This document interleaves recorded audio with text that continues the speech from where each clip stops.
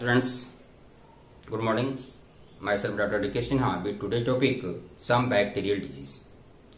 पिछले lecture video में आप लोगों ने कुछ bacterial disease such as typhoid और निमोनिया के बारे में पढ़े थे आज हम लोग कुछ उसके अलावे बैक्टीरियल डिजीज के बारे में जानेंगे such as diphtheria tuberculosis cholera tetanus etc okay so we know first diphtheria diphtheria is a bacterial disease cause by corynebacterium diphtheriae called by corynebacterium diphtheriae and it is mainly occurs in child यह मुख्य रूप से child को effect करता है और जिस child का age three to five years old होता है Okay. Generally, Corynebacterium diphtheriae forms a pseudomembrane in thorax, and due to formation of pseudomembrane in respiratory tract, difficulty in breathing takes place. In proper amount of respiratory gases not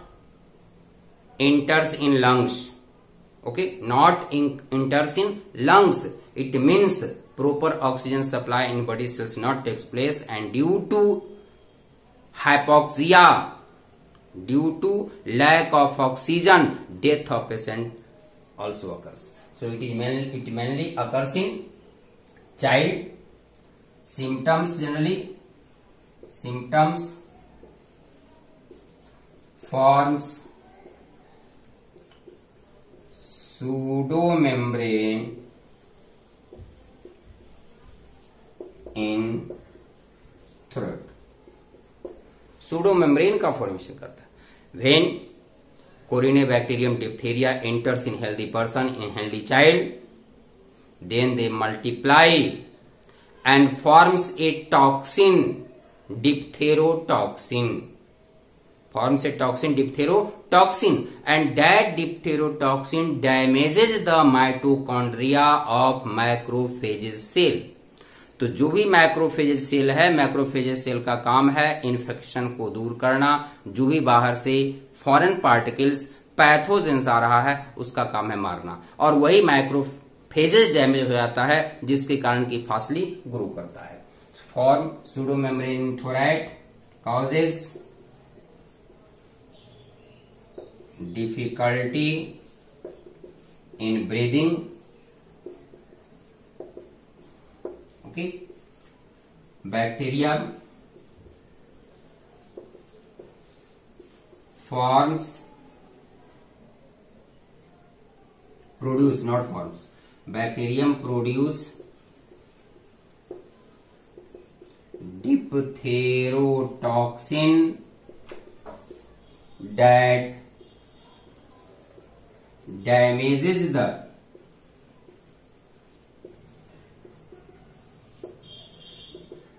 mitochondria of macrophages cell mitochondria of macrophages cell and macrophages cell is responsible for the immunity because it kills the different types of pathogens से pathogens को मारने का काम करता है और उसी macrophage को डैमेज करने वाला बैक्टीरिया है corynebacterium diphtheriae okay these are the so main symptom is difficulty in breathing और कर सकते हैं हाइपोक्सिया का भी केस हो सकता है hypoxia means lack of oxygen proper amount में बड़ी सेल्स के अंदर ऑक्सीजन नहीं पहुंच पाएगा चलिए नेक्स्ट अगर हम प्रिवेंशन की बात करें Diphtheria is prevented by use of DPT vaccine. DPT, DPT, diphtheria, pertussis and tetanus. Full form of DPT, diphtheria, pertussis and tetanus. It prevents from three diseases and also called triple vaccine. DPT is also called triple vaccine because it prevents from 3 diseases. It prevents from 3 diseases. So DPT means diphtheria, pertussis and tetanus. Okay, So TPT is also called triple vaccine. Pertussis means whooping cough,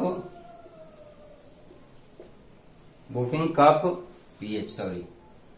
Also called simple way में इसको कहते हैं काली खांसी और कुकुर खांसी काली खांसी और कुकुर खासी so it prevent from three diseases and also called triple vaccine okay this is prevention next treatment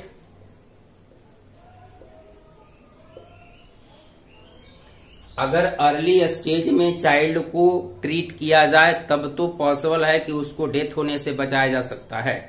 जैसे खास करके एंटी इंजेक्शन अगर 24 आवर के अंदर ठीक है एंटी सीरम इंजेक्शन को दिया जाए तब इसे बचाया जा सकता है एंटी सीरम इंजेक्शन भी administrated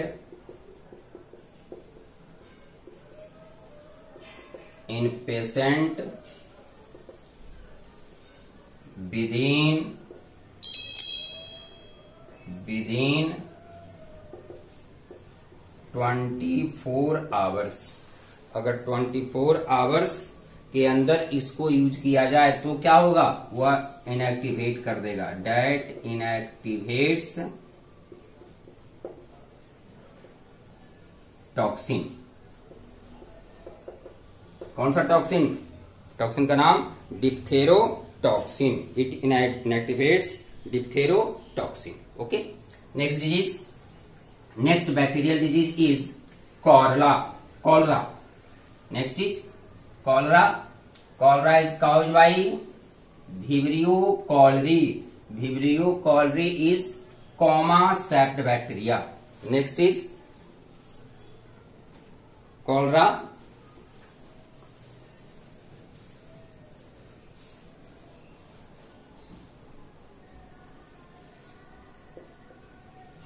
cholera cause by vibrio cholerae and cholerae is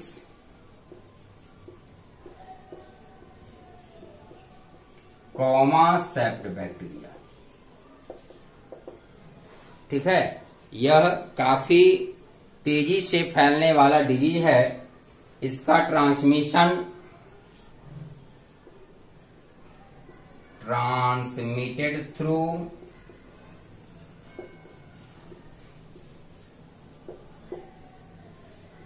contaminated water and food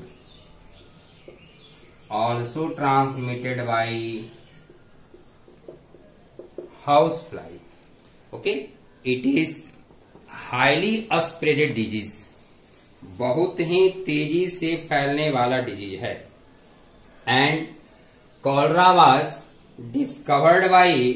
Robert Koch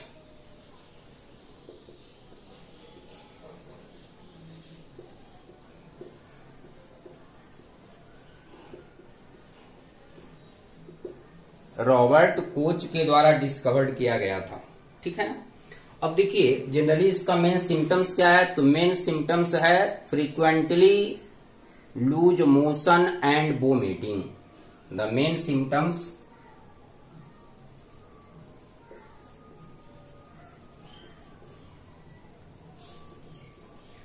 frequently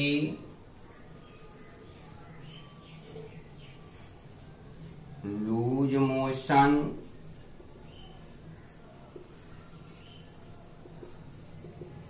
and vomiting horizontally loose motion and vomiting और जो लूज मोशन होता है वह बिल्कुल वाटर के जैसा means stool stool becomes white watery also called rice water rice water कहने का मतलब है कि राइस बनाने के बाद या राइस धोते समय जो भी वाटर व्हाइट कलर का वाटर निकलता है ठीक उसी तरह का स्टूल पास करेगा patient so stool becomes white watery and due to regular loss of water by loose motion और vomiting dehydration lack of water in patient body takes okay okay So lack of water also occurs in this. Due to excess loss of water, dehydration occurs.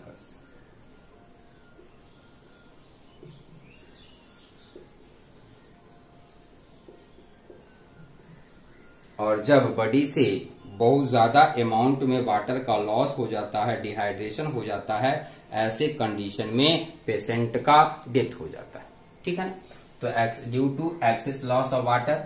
dehydration takes place और जब dehydration होगा body में water का scarcity हो जाता है result क्या होता है excretion means urine discharge stop हो जाता है स्टोमक में पेन भी हो सकता है मसल्स आसपास मसल्स में दर्द भी हो सकता है ऐठन हो सकता है जो कि इसका सिम्टम्स है ठीक है next excretion stops means urine discharge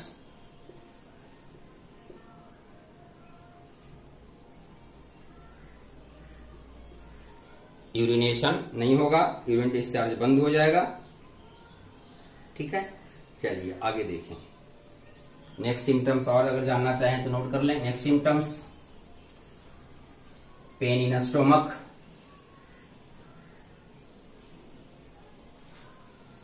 next symptoms pain in stomach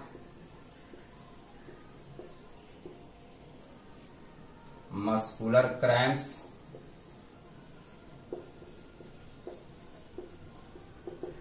okay these are the symptoms of cholera next diagnosis and treatment prevention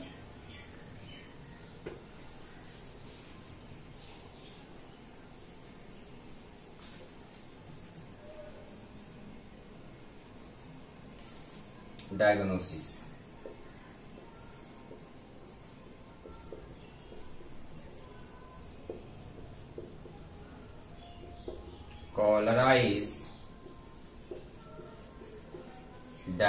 caused by microscopic test of या microscopic examination of stool and vomit जो भी पेशेंट का stool और vomit है उसका microscopic examination किया जाता है और पैथोजेंस को देखा जाता है अगर वोमिट में अगर स्टूल में उस disease means vibrio cholerae pathogens present है तो यही इसका आइडेंटिफिकेशन है यही इसका डायग्नोसिस है ठीक है ना control diagnosis control and prevention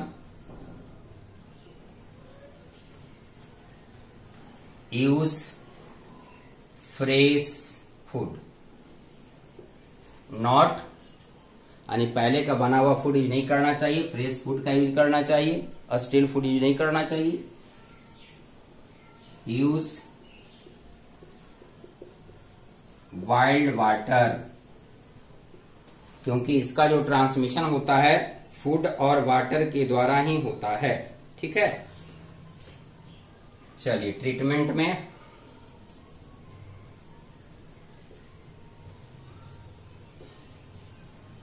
treatment में generally use of O R S O R S is use to control the rehydration sorry dehydration it means it is responsible for maintenance of waters and ions in body O R S का full form oral rehydration salt solution okay oral rehydration salt solution and in treatment some antibiotics also used in treatment some antibiotics are also used जितने भी bacterial disease है bacterial disease में bacteria को kill करने के लिए antibiotic का use किया जाता है such as chloramphenicol chloramphenicol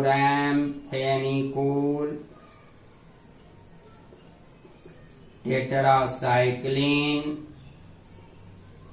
etc okay these are the different antibiotics next disease tuberculosis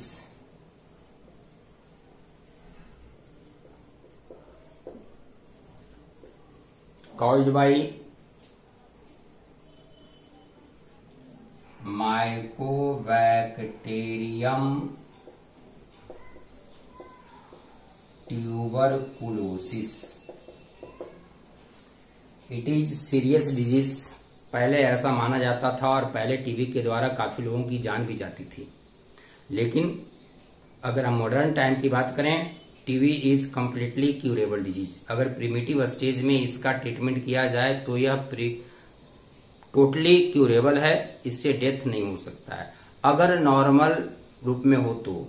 time पर ट्रीटमेंट नहीं हो तो पॉसिबिलिटी है कि डेथ हो सकती है ठीक है so tuberculosis is mycobacterium called by tuberculosis bacteria and it is transmitted through sneeze cough direct contact sputum nasal secretion through खकार sputum air water utensils etc इसके ट्रांसमिशन की बहुत सारे मेथड्स है बहुत सारे मेथड से या एक पर्सन से दूसरे पर्सन में ट्रांसमिट हो सकता है जनरली स्निजिंग के समय कफ के समय जो ही वाटर ड्रॉपलेट्स निकलते हैं उस वाटर ड्रॉपलेट्स के साथ माइकोबैक्टीरियम ट्यूबरकुलोसिस पेशेंट बॉडी से बाहर निकलता है और अगर उस इन्फेक्टेड उस कंटामिनेटेड एयर में कोई हेल्दी पर्सन रिस्पायर करता है रिजल्ट क्या होता है रिस्पायरेटरी गैसेस के साथ वह बैकोबैक्टीरियम ट्यूबरकुलोसिस हेल्दी पर्सन में इंटर कर जाता है और इंटर करने के बाद रिस्पायरेटरी सिस्टम को इफेक्ट करता है ओके okay? तो सबसे पहले यह रिस्पायरेटरी सिस्टम को इफेक्ट करता है लेकिन यह रिस्पायरेशन के रिस्पायरेटरी सिस्टम में लंग्स के एल्बुलाई को डैमेज करने के बाद यह ब्लड में इंटर कर जाता है and with the help of blood it also transmit in different parts of the body and causes TB in different organs such as bone TB, brain TB, limb TB, etc. Okay, so TB is TB is of two types. Mainly, one is called pulmonary TB that affects lungs, and second is extra pulmonary TB pulmonary TB affects lungs and extrapulmonary TB, extrapulmonary TB, different organs except the lungs such as affects bone, brain, intestine, intestine, lymph glands, etc. So, different types of organs, different organs are affected by Mycobacterium tuberculosis. Okay. Generally, Mycobacterium tuberculosis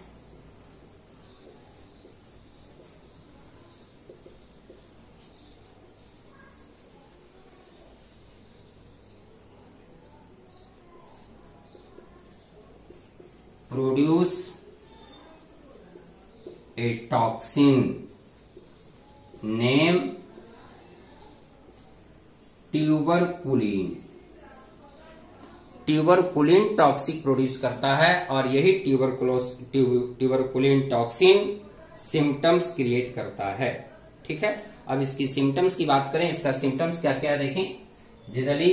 fever loss of appetite weight loss weakness ठीक है fatigue symptoms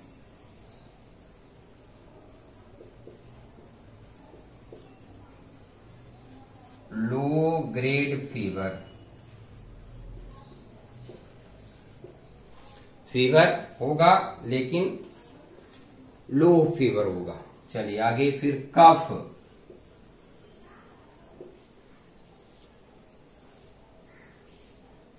pain in chest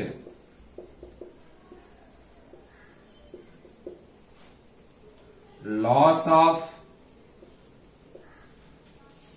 appetite appetite means भूख का समाप्त हो जाना भूख नहीं लगती है ठीक है weight loss night shooting weight loss night shooting ठीक है weight loss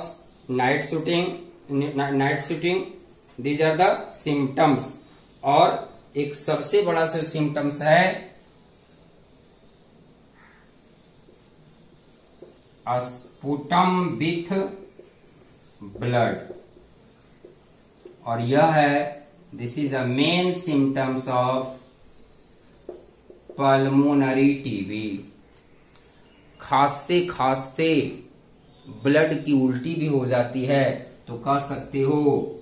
vomiting of blood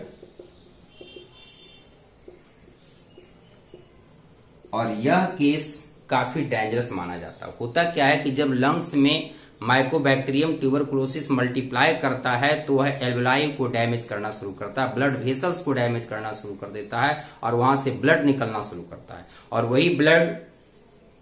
sneezing के साथ कफिंग के साथ बाहर निकलता है तो sputum with blood is the main characteristic features of pulmonary TB और यहाँ के बाद जब blood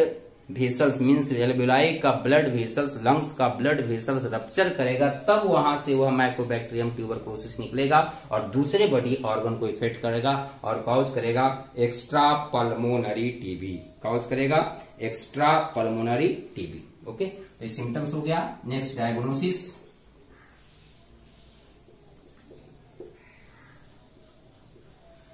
TB is diagnosed by x-ray methods by x-ray of chest x-ray of chest और a method that is use in detection of TB with the help of blood that is called Mantoux test diagnosed by Mantoux test means blood test blood test का एक method सही जिसमें कि ई e और blood का TC DC कौन किया जाता है that test is called Mantoux test ठीक है डायग्नोसिस के बाद प्रिवेंशन ट्रीटमेंट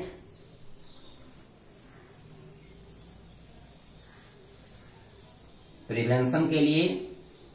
एक वैक्सीन भी है vaccine known BCG vaccine prevention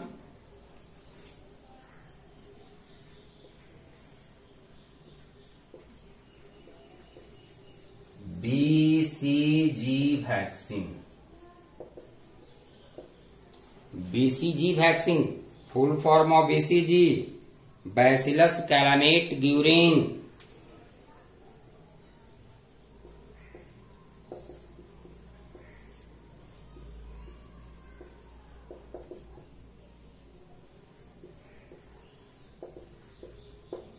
bacillus Calmette Guerin G L U sorry Guerin okay this is vaccine for BCG और अगर प्रिवेंशन की बात करें avoids contact with patient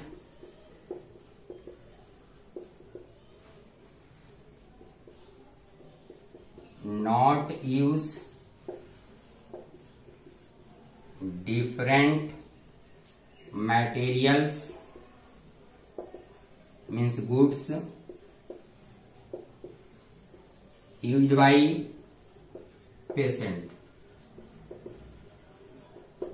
patient के द्वारा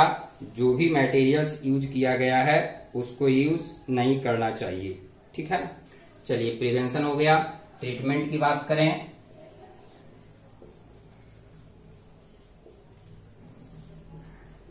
इसके ट्रीटमेंट के लिए एक टर्म आता है D O T S D O T S full form पता है DOTS directly observed treatment short course ठीक है directly observe treatment short course okay and in treatment of tuberculosis some antibiotic medicine are also use और treatment की बात करेंगे तो क्या हो जाएगा antibiotic medicine are use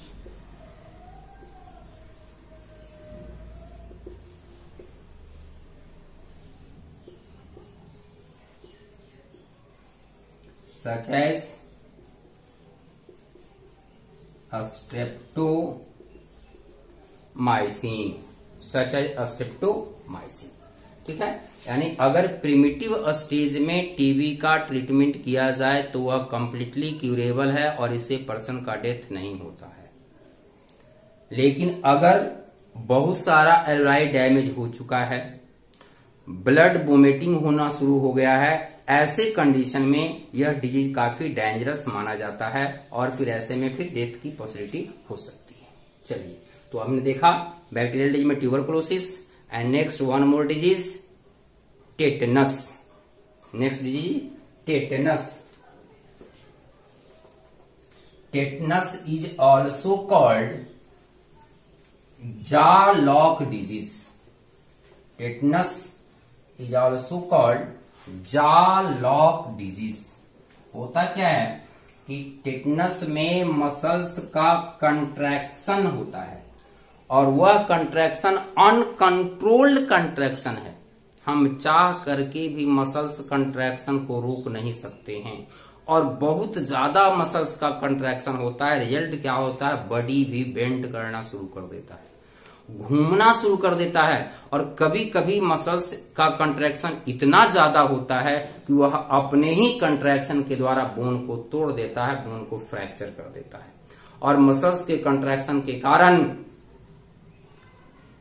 human person का जो बॉडी है बॉडी का शेप भी बेंट कर जाता है वह धनुष के जैसा हो जाता है ठीक है तो नेक्स्ट डिजाइन को देखें tetanus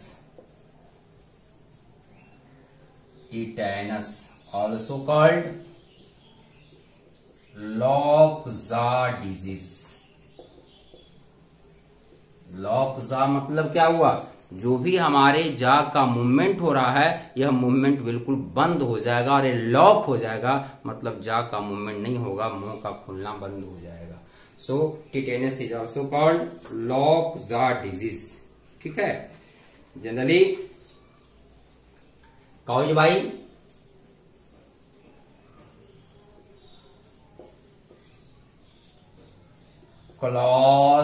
Clostridium tetani caused by Clostridium tetani. This bacteria present in alimentary canal और लार्ज इंटेस्टाइन ऑफ एनिमल्स ठीक है bacteria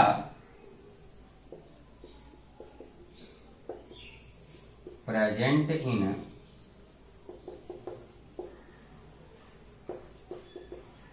large intestine of animals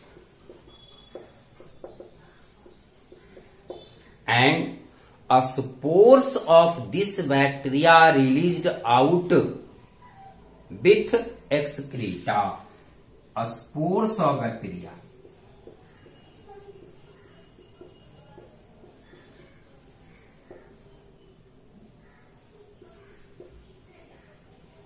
spreaded out through excreta यानी ह्यूमन एक्स सॉरी एनिमल के excreta के साथ इस bacteria का spore बाहर निकलता है और वह हमारी सराउंडिंग्स में सॉइल में रोड पर जहां तहां क्या होता है वो फैल जाता है और जैसे ही अगर हमारे बॉडी का कोई पार्ट्स इंजुरी होता है इंजर्ड होता है मीन्स ब्लीडिंग स्टार्ट होता है और वह पार्ट अगर कंटामिनेटेड एरिया के कांटेक्ट में आता है रिजल्ट क्या होता है इसका स्पोर बॉडी के अंदर इंटर करना शुरू कर देता है और बॉडी के अंदर जब इंटर करेगा मल्टीप्लाई करेगा टिटनेस काउज करेगा ऐसा कहा जाता है कि अगर गंदे स्थानों में जंग लगे हुए लोहे से अगर कट छट जाता है तो सिर्फ जंग लगने की बात नहीं है अगर कहीं भी गंदे स्थान में इंजुरी का केस होता है ब्लीडिंग होता है तो वैसे कंडीशन में इसका बैक्टीरिया इसका स्पोर हमारे बॉडी के अंदर इंटर कर सकता है और वह डिजीज काउस कर सकता है ठीक है ना तो यह जब भी आएगा तो एक्सक्रीटा से बाहर आएगा और यह जो भी स्पोर्स है जो एक्सक्रीटा के द्वारा बाहर आता है वो हाईली रजिस्ट होता है वह टेम्परेचर का वाटर का लाइट का रेजिस्टेंस कैपेसिटी उसमें है और वो लंबे समय तक एटमोस्फेयर में सर्वाइव करता है स्पोर सार हाईली रेसिस्ट बहुत लंबे समय तक सरवाइव करने की कैपेसिटी इसमें होता है अब देखिए ये स्पोर्ट्स आया बॉडी का इंजुरी हुआ ब्लीडिंग हुआ उसके द्वारा कहा चला गया पर्सन ह्यूमन पर्सन के बॉडी में और वहां जाकर के कुछ ना स्पोर्ट्स एंटर थ्रू किसके द्वारा इंजुरी के द्वारा वुंड्स के द्वारा कट्स के द्वारा वुंड्स कट्स और इंजुरी जहां भी ब्लीडिंग का कंडीशन आएगा ब्लीडिंग होगा वैसे कंडीशन में यह स्पोर्ट्स हमारे बॉडी के अंदर चला जाएगा और देखिए spore multiply in our body in human body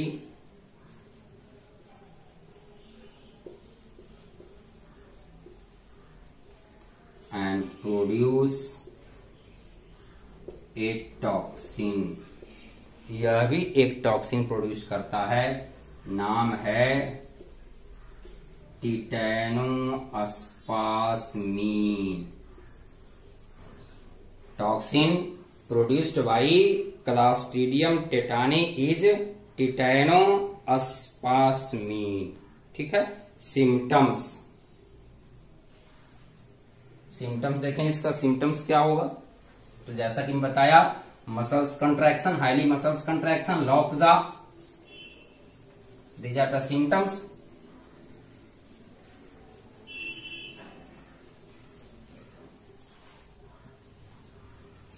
symptoms of tetanus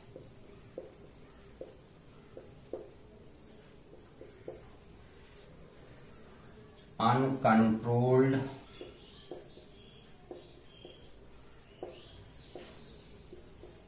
muscles contraction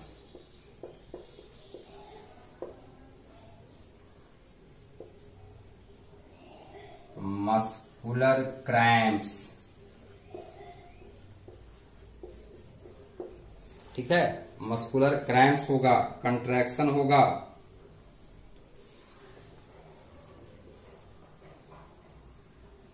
respiratory problem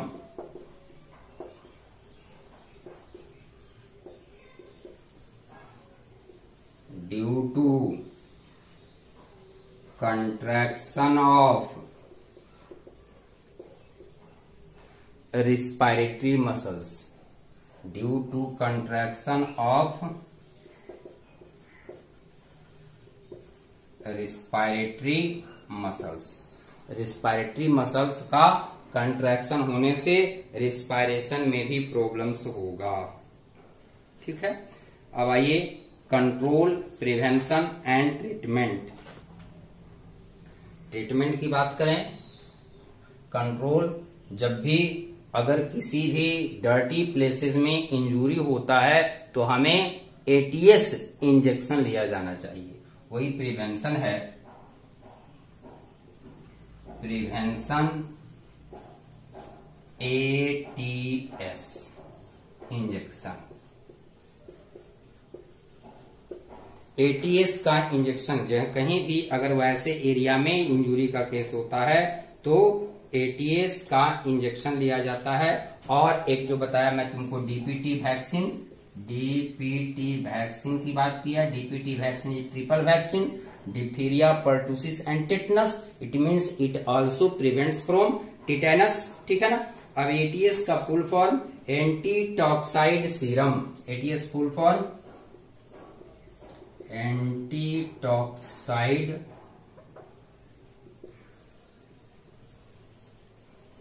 serum antitoxide serum इसको कहीं कहीं मिलेगा तुमको anti tetanus serum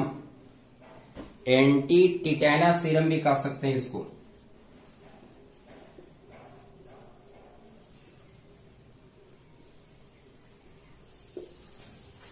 ठीक है तो आज तक हम आज हम लोग फिर देखे कुछ bacterial disease tetanus tuberculosis diphtheria and cholera अब हम लोग अगले क्लास में देखेंगे बैक्टीरियल सॉरी बैक्टीरियल हो गया प्रोटोजोनल डिजीज इसके कुछ और बैक्टीरियल डिजीज का नाम मैं शुरू में बताया था मैं उसका कम से कम आप पैथोजेंस का नाम जरूर याद रखेंगे ठीक है बाकी जो भी साइंस सिम्टम्स मेन था इंपॉर्टेंट वो बता चुका हूं मैं अब नेक्स्ट वीडियो में देखेंगे प्रोटोजोनल डिजीज ओके